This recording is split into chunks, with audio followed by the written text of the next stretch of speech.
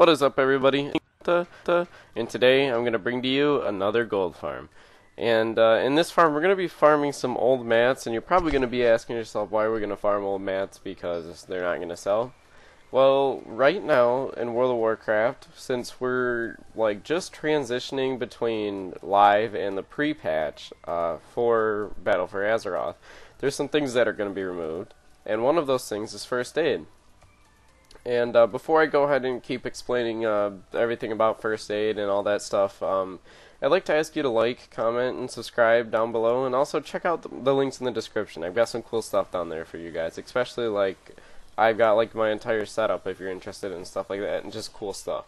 But so the thing with first aid, along with a couple other things, is they're actually being removed. So with for with the removal of first aid, we're going to see the removal of all the achievements, and all those achieve, achievements are going to turn into legacy achievements, which obviously you cannot get if you don't level it up now.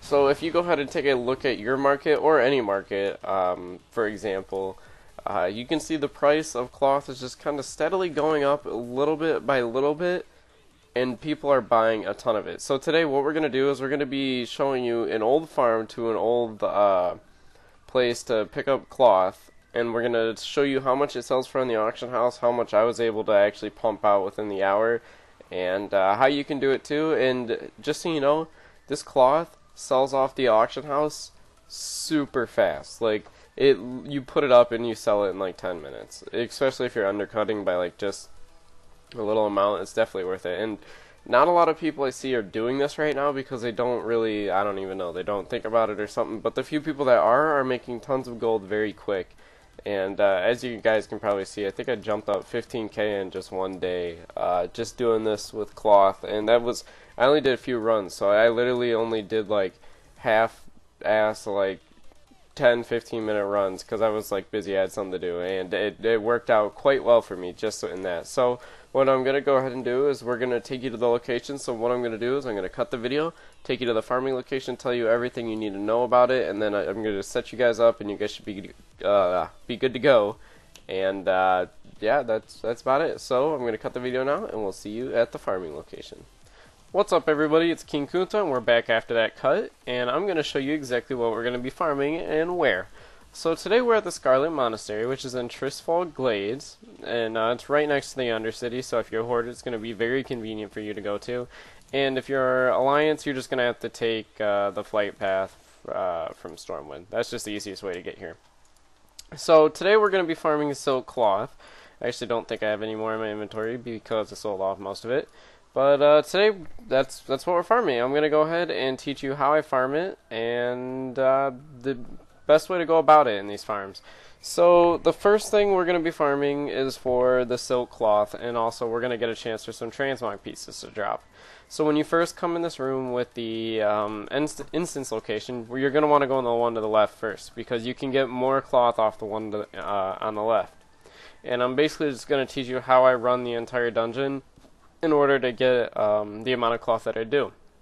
And the reason we're farming cloth now is because thanks to the fact that first aid is becoming removed, um, we're actually going to have a big influx of players trying to get the achievements for it.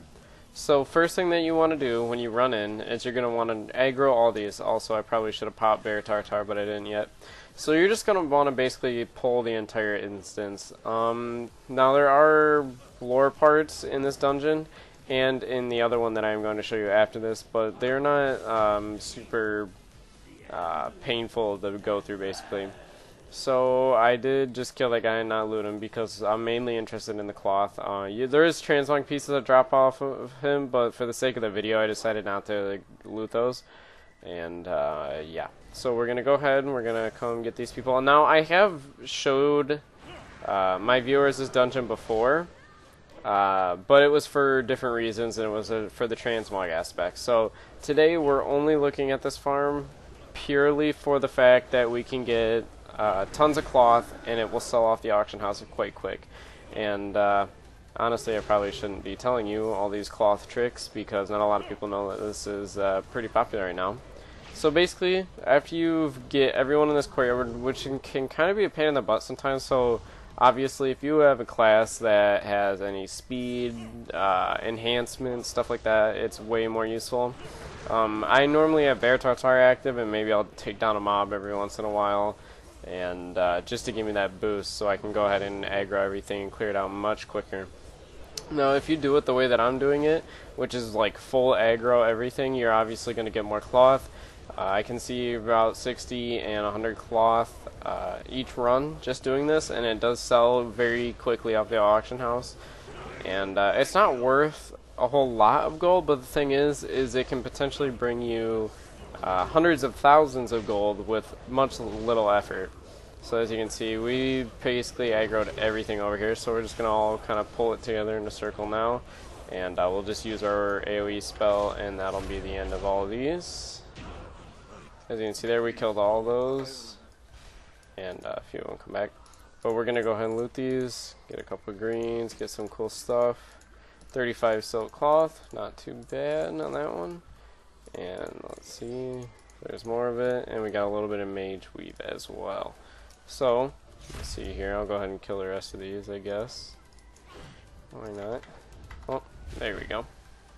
And uh, nothing else to loot here. And now we can continue in, and we can pull aggro from the rest of the instance. Now, after this part, it is a lower part. If you want to kill the boss and keep heading towards your, um, like, transmog, like, chances of you getting stuff like that, you can go ahead and do that. It's entirely up to you. I do kill the boss because I do like having a chance at some of this higher level transmog that will drop out of this location. Uh, obviously up to you. And we gotta get these out of here. Okay. Go ahead and kill these guys too. Let's see. More silk. Alright. So, we're gonna go ahead and kill him. He, you can just one-shot him, but now you have to wait after the lore part. And the left dungeon, the one that we are doing, is the one that has the uh, highest potential for uh, cloth to drop and transmog. That's why we attempt the left first. Uh, it it always works out better to do the left one because you have shots at shots at a ton of the scarlet pieces and stuff like that. It's uh, quite useful. So we'll see. Nope, no transmog now. Now what you can do now is you can unstuck or run all the way back to the instance. And I am dumb and I do it the long way, but that's just because I'm me. And uh, other than that, that's really all you need to know. The other dungeon is pretty straightforward. You just do the entire dungeon. You don't have to pull, or you can pull the entire instance. It just doesn't give out as much cloth as this one because this one is quite easy to run into and out of. So you can see we got 54. So it wasn't a very good run then but you can just go in and out of this one constantly. And actually I every single time I farm this dungeon I have not hit instance lock.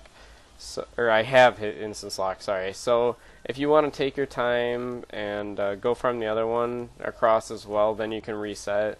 And uh, won't be such a pain in the butt because you will uh, hit 10 runs before you are able to reset the entire dungeon. So that's just uh, something to keep in mind uh, for what's going to happen. And other than that, I don't really have much else. Um, if you like the video, uh, I encourage you to subscribe and uh, you know like the video, subscribe, all that good stuff. Go ahead and check out the links in the description because I always put amazing, great stuff in the link in the description below. Uh, you can go check that out and I think that's it. Um, thanks to everyone that's for that's supporting me. It's quite hard to upload videos constantly, but I try to make it work. Um, every single person that subscribed or post a comment below that says they like my video, it really helps me out, and it shows me that I'm doing something that is worth, you know, other people's time. Like I'm helping people, and it makes me feel good. Um, so, you know, if you want to post down below, notification squad. Uh, can you post hashtag notification squad and that way I'll know to like and love your comment and leave me a special message. Um, I know it's probably going to be super sarcastic as every single one of the messages I get are, but I love every single one of them and that's all I have to say for you guys. So, I will see every single one of you beautiful people in the next video. And also, don't forget to like, comment, subscribe, and watch more YouTube videos. And I'll also be coming out with new ways to farm cloth soon. So yeah, bye. Don't forget about that. Also be looking out for that. All right, do it. Trick. Bye. Go find. Go farm uh, frostweave cloth because it's the next big ticket and it's selling a lot. And if you watch the end, then you'll know. Okay. Bye. Love you.